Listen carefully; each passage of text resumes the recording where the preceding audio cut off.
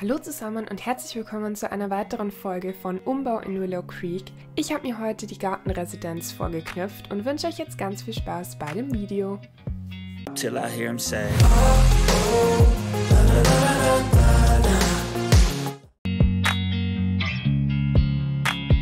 Ja, in der Gartenresidenz wohnen die drei besten Freunde auf Lebenszeit und ich wollte denen eben ein etwas schöneres Zuhause gestalten. Und dazu habe ich jetzt erstmal eine neue Raumaufteilung gemacht, beziehungsweise ist die Raumaufteilung ziemlich ähnlich, wie sie vorher war, aber die Räume haben sich ein bisschen verändert, also das Bad ist zum Beispiel nicht mehr da, wo es vorher war.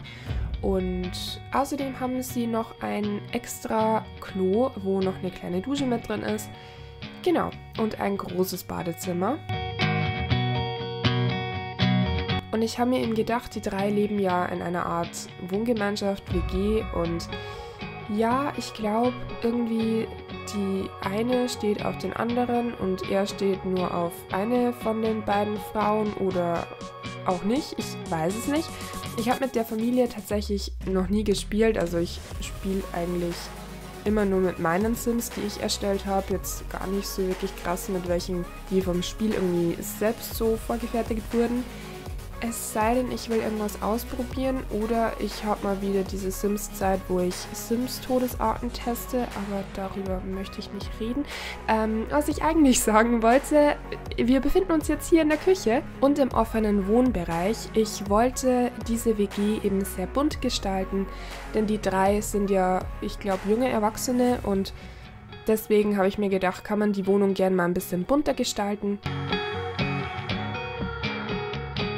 Und falls jemand von euch vielleicht mal eine Challenge mit diesen drei Charakteren spielen möchte, kann er dieses Haus ja gerne runterladen und die Sims vielleicht nochmal in Teenager verwandeln.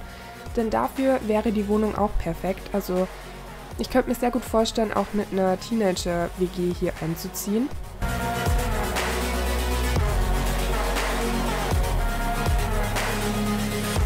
Denn wie gesagt, es ist alles sehr bunt gehalten, vor allem jetzt auch das Badezimmer.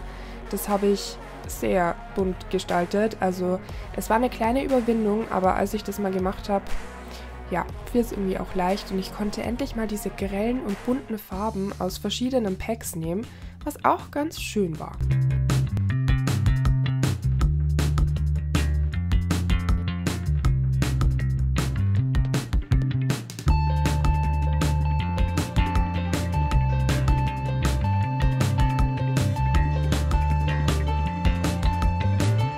Bei den Häusern in Willow Creek, wo schon Familien drin wohnen, ist es irgendwie nochmal anders, die umzugestalten.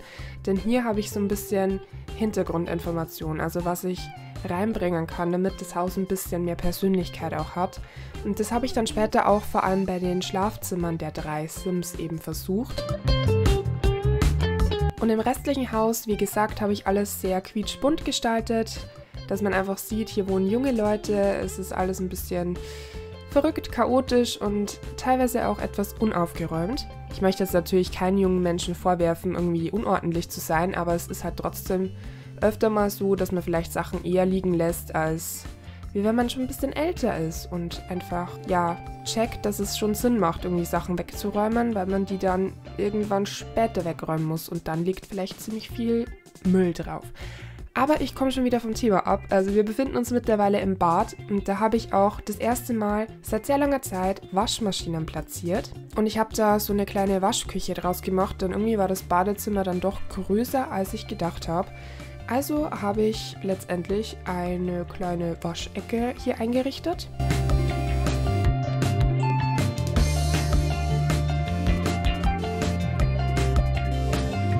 Und dann natürlich auch noch das Nötigste, das ich so platzieren musste, damit ein Bad überhaupt funktioniert. Also sowas wie Handtücher, Pflanzen. Das ist sehr wichtig in einem Badezimmer, weil mit denen kann man sich abduschen. Ich äh, rede echt wieder viel Blödsinn. Es tut mir sehr leid.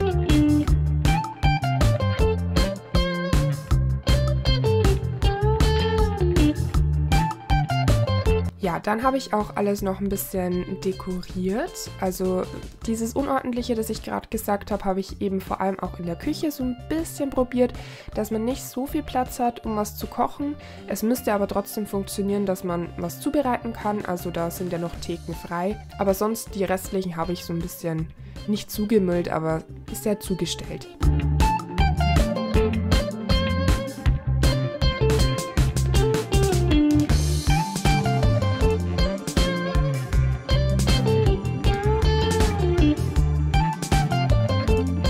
Und dann bin ich auch schon in die Schlafzimmer der einzelnen Sims gegangen. Und das hier ist jetzt das Schlafzimmer von Liberty. Und sie ist ja mit einem lilanen T-Shirt eben angezogen, deswegen habe ich die Farbe lila hier mal aufgegriffen. Und sie stelle ich mir irgendwie ziemlich cool und tough vor. Und ja, und ich könnte mir eben auch sehr gut vorstellen, dass sie eine Zockerin ist und vielleicht auch gerne streamt und Videos aufnimmt, gerne Musik auch hört und eher so diesen dunklen Kleidungsstil auch vertragen könnte. Also irgendwie hatte ich diese Vibes bei ihr.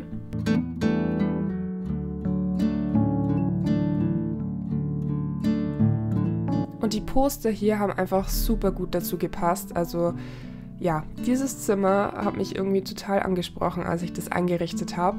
Fand ich auch sehr cool den Style.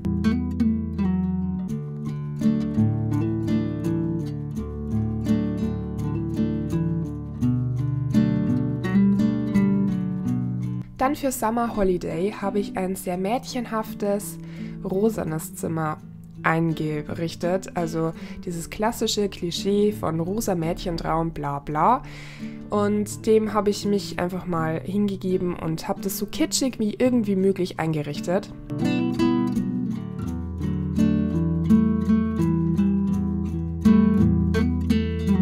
Und Summer hat ja so ein gestreiftes T-Shirt an und wird später ja Köchin. Deswegen habe ich hier ähm, ein bisschen Obst platziert, weil ich mir gedacht habe, dass man so ein bisschen eine Vorstellung bekommt, was sie vielleicht mal beruflich machen könnte. Dann bin ich in das Schlafzimmer von Travis und ja, also Zimmer von männlichen Sims, es fällt mir so schwer, die einzurichten. Woran liegt es wohl? Ich bin halt weiblich, also deswegen ist es echt schwierig. Aber ich habe mir bei Travis gedacht, dass er vielleicht Musiker werden könnte oder so Musik total feiert. Deswegen habe ich eben so ein DJ-Pult platziert und ja, auch so Musiktapeten.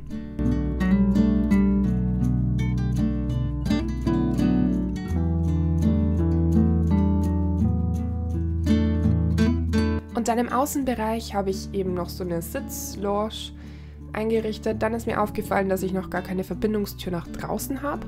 Die habe ich dann eben platziert und dann den Außenbereich noch ein bisschen grüner und bunter gestaltet.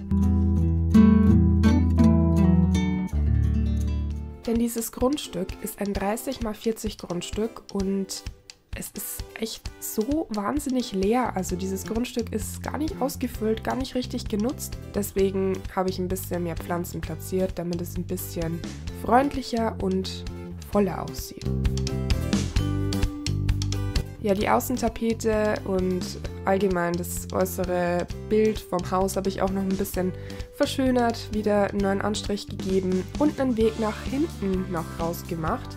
Denn ich fand es ganz schön, dass man da dann irgendwie rausgehen kann zum Spazieren oder so. Ja, und dann sind wir auch schon am Ende vom Speedbild. Ihr seht jetzt noch das fertige Ergebnis. Und ich hoffe, dass es euch gefallen hat. Wünsche euch noch einen wunderschönen Tag und bis zum nächsten Mal. Ciao!